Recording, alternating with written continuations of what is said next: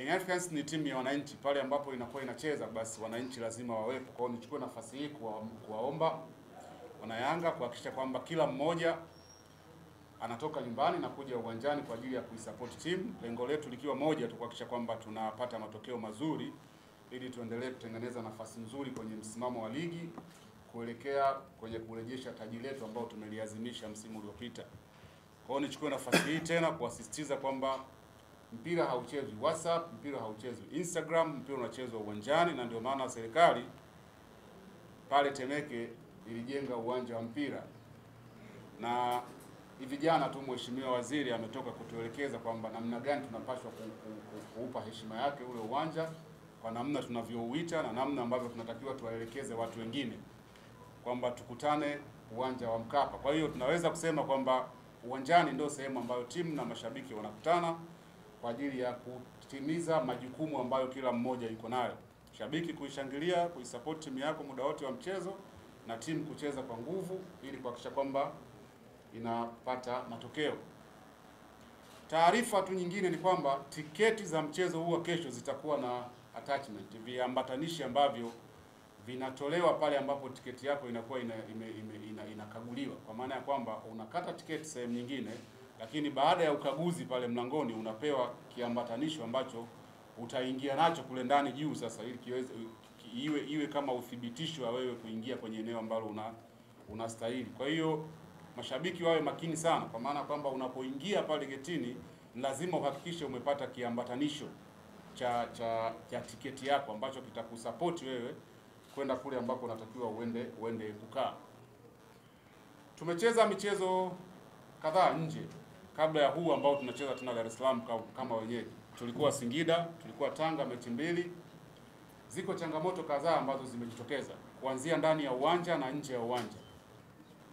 Watu wengi walikuwa wanazungumza kuhusiana na Abdalla Shaibu Ninja, lakini ukweli ni kwamba hakuna zuio lolote la yeye kucheza mchezo wa kesho. Kama benchi la ufundi wataona wanafaa kumtumia, watamtumia kulingana na programu ambazo mwalimu ameziweka, lakini si kweli kwamba kuna zuio lolote kutoka kwenye kamati au kwenye shirikisho ama kwenye bodi ya ligi. tunafanya ile mnani mechi yetu tatu, tunafanya draw mbili, na gisi naliwaambia safari yetu ilikuwa na mpango wetu turudie na pointi tisa.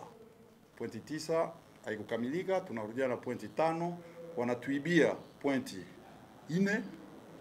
Ile mimi naita kutuibia, wanaiba sababu gisi anasema mwenyewe mliojionea ku nani ku television, goli ya Makambo goli goli, ile goalkeeper anaingia katikati iko goli, tunatia nani Ma, Mateo anaingiza goli goli swafi, hakuna chochote ukatalia wanatukatalia me tunarudia na pointi tano, ile inatufurahisha.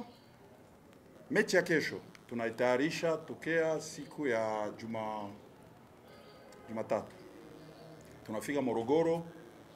Siku ya kwanza tunafanya kazi kidogo ya récupération. Donc on travaille que la récupération et la génération, la régénération. La régénération c'est qui veut dire que inafaa mchoko wa wachezaji utoke wote kabisa kwa mbele ya kuanza kufanya kazi yoyote, na ndio ile tulifanya juma Jumatatu tukafanya juma nne.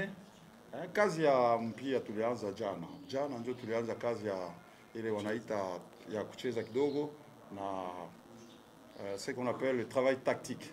Travail tactique ni kusema kama mechi ya Simba kama mechi ingine.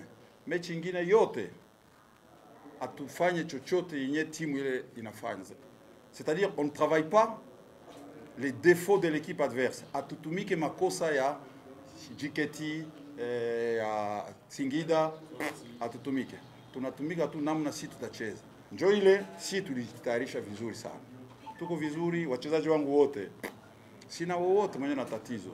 Kesho tunakuya. Kama mechi yote tunacheza, tuko na objectif tuwine, tuwine ni objectif yetu. Haitakuwa rahisi, itakuwa mechi nguvu, me njo ile mimi naita kesho, washabiki wa Yanga wakuye mingi sana, wataona Yanga ingine. Haiko ile Yanga tulicheza mechi ile, wakati tulicheza tu mechi ine ya tano tukacheza Simba, tulikuwa natoka Morogoro, tulikuwa tuyakuwa tayari meia. Kesho nadhani wengi watashangaa, naita washabiki wakuye wengi sana sana, itakuwa machi mwa nguvu meila kumwisho, nadhani mambo inaweza kuwa vizuri. Sisi ni soka, burudani inaendelea.